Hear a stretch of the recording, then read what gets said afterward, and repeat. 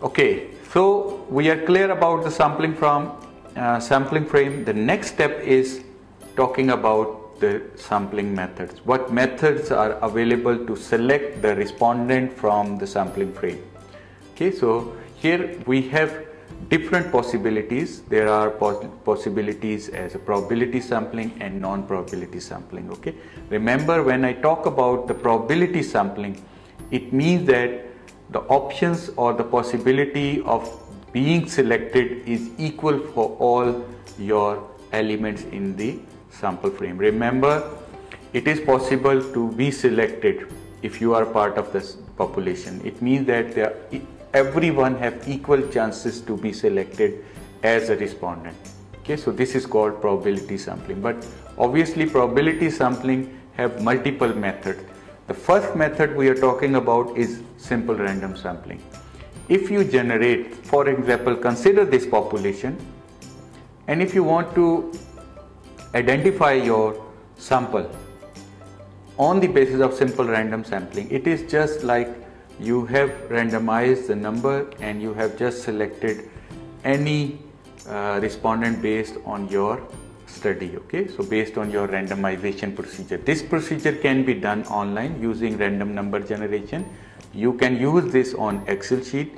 You can use this as a randomizer on a website. It is available.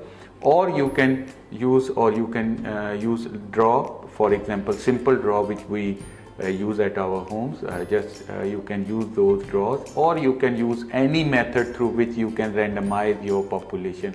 Is called your random population or random uh, simple random sample. So when you selected sample based on any procedure through which you have randomized your population or your sample frame in order to collect your relevant sample is called simple random sampling. You can use randomizer as it is a website web-based application. You can use uh, Excel Excel also have random number generation and also you can use simple draw as your uh, as we, we know very simple page draw so you can use those draws to uh, select your sample. This is called simple random sampling. So we use this sampling because we need heterogeneous sample so sample which cover all the characteristics of our population. So we draw randomly in order to collect the more heterogeneous or more uh, segregated uh, sample from our uh, sample uh, frame. So this sample should be the true representative of your population. So if we select them randomly, it is highly possible they would be uh, truly representation of your population. And then we have another method, we call it systematic sampling. It is a bit difficult uh, in order to operationalize but I will explain each and every step involved in this systematic uh, sampling. It is not unlike uh, random sampling, it have a complex process but don't worry, it's very easy to operationalize but you have to understand some uh, basic concepts. So when we talk about the systematic sampling, systematic sampling you have to use a number k in order to identify your true sample. So what is K? Is K is basically a ratio. What is a ratio? K is basically a ratio of your population and divided by your required sample. For example, here I give you example. We have population of 400 people and our required sample is 100. So I have to determine the K. So K should be 4 because the formula is very simple the formula is population divided by sample required. So when I divide this, I get this number 4. So 4 is K. So that is why it is called K systematic sampling. So what we need to do now, this is our population. Consider this is our population and we have a sample number or K number 4. So how we can operationalize, we need to collect 100 people from this population. So what we can do is we can just continue with our first number just count this one first this is first then second then we go to third and then we have fourth so what is our k k is fourth so it means that every fourth element of your population would be selected. This is how this k systematic works. So you can see that I have selected this number 4. Now let's move on. Then 4 we have 5, 6, then we have 7 and then we have 8. Now the next number we are going to select is 8. Okay, so this is because the k is 4 so that is why this is 8 so this is also being selected okay so once we selected these all element based on the k so this is how we do our systematic sampling k systematic sampling okay? We have selected every fourth element or every fourth subject available in our population or in our sample frame okay? This method is applicable when you have list of your participants when you have list of your respondent when you have list of your subjects or you have any categorization of your uh, subjects. So in that case you can use this k systematic sampling. Remember in some cases uh, we can use this k with replacement for example uh, the fourth element is not available so what we can do we can do replacement or without replacement for example let me uh, get back to this number again. So for example, this one is our selected fourth element. Okay.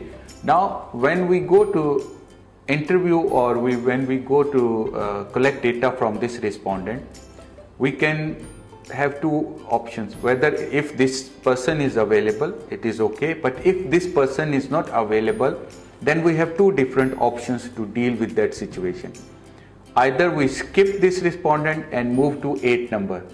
So this is called replacement without replacement. So we will not replace this one and we will continue with our next respondent. But in some cases we must need to collect data from each number. So that is why we need to replace this number. So what we can do, we can use next one. The fifth one would be our next respondent. Okay.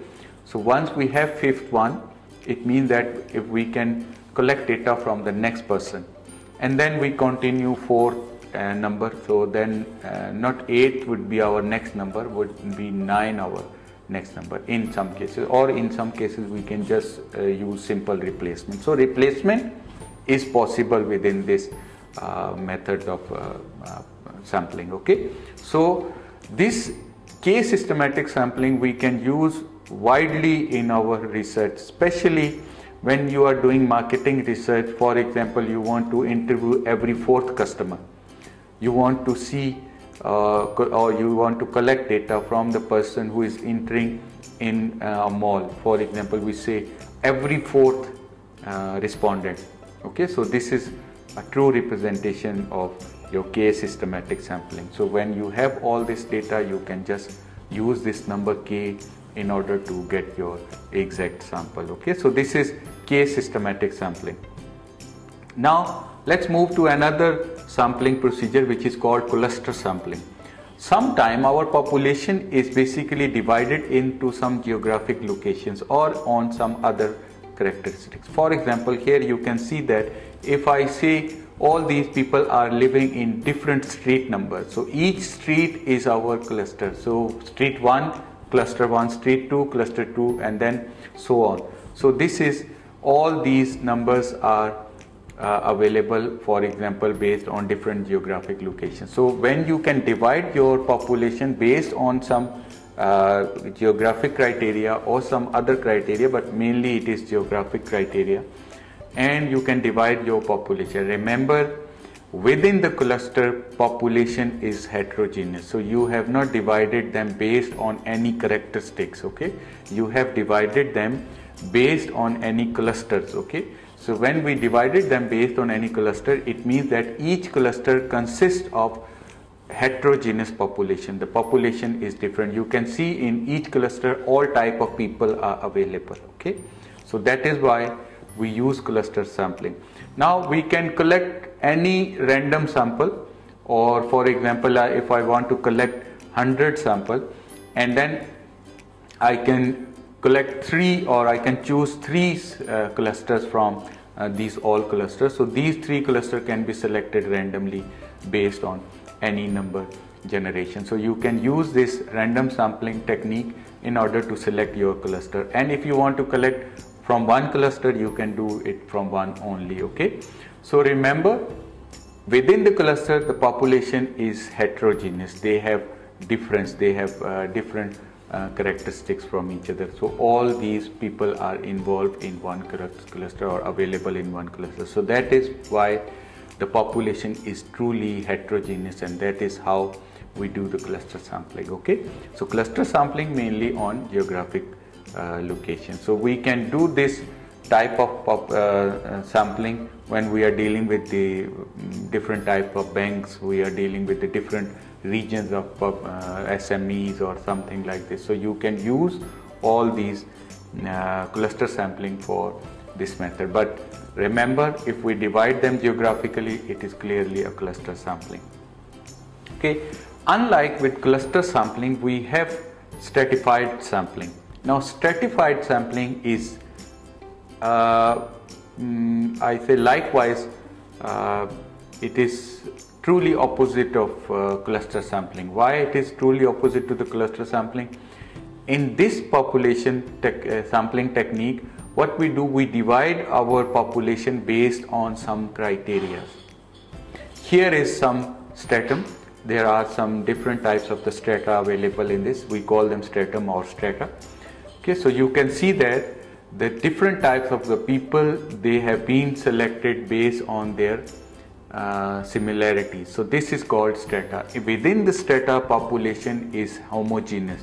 Remember you can see that all these people they are in one stratum they are same. They have same characteristics. When we can divide our population based on some characteristics and they are same within the strata so that is called a stratified population. Okay now you can see that i have divided all my population based on different stratums now so these stratum basically they can act like a set of people with having similar characteristics. For example, football players, cricket players, hockey players, red color ball, green color ball. So all these are examples of uh, homogeneity within the, the uh, strata. Okay, so within the population, it is homogeneous.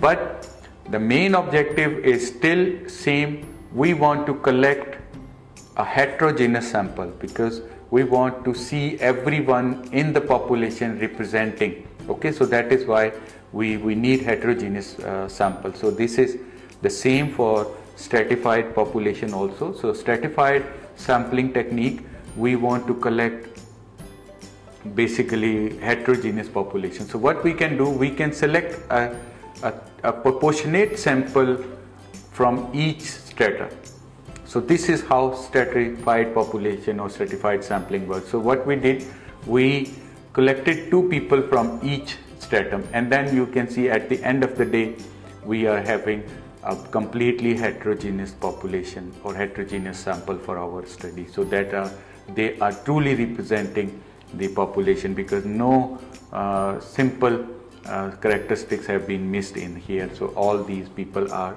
working uh, in the different strata or work uh, uh, affiliated with the different stratum but we have selected a sample of proportionate people or proportionate stratum from each strata. So at, as a result you can see that the population is truly heterogeneous which is the purpose of our randomization okay? So you can see that we divided our population on some characteristics based on some characteristics in some strata and then from that stratum we have selected a proportionate sample to collect a truly randomized and heterogeneous sample. This is called uh, your stratified sampling.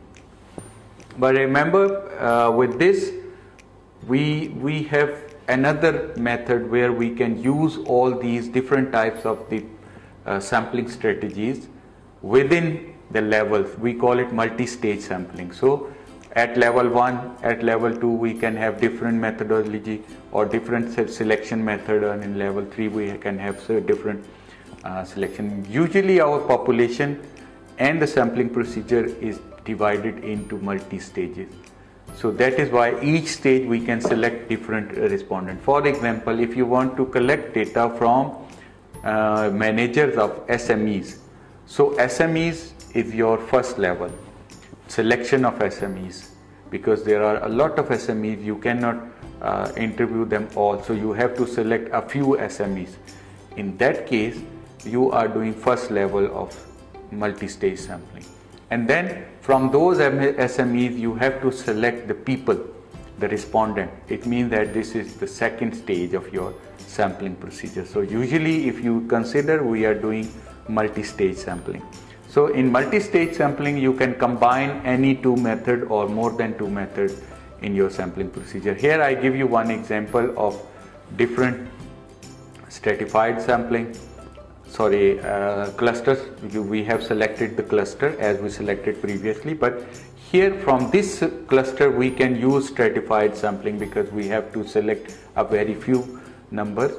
So what we can do you can see here we can use uh, systematic sampling in order to collect our second stage employees okay? So first we cluster them and second we can use a simple uh, uh, uh, sorry systematic sampling. But remember any of two types can be combined together to get a multi-stage sample. It depends on how you rationalize or how you operationalize your research and how you operationalize your sampling strategy.